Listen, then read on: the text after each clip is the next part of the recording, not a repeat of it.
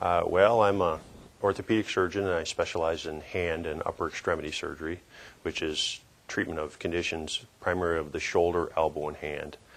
Um, I'm board certified and fellowship trained, uh, and I practice in a couple of locations in the around the Syracuse area and do most of my surgery at uh, St. Joe's Hospital.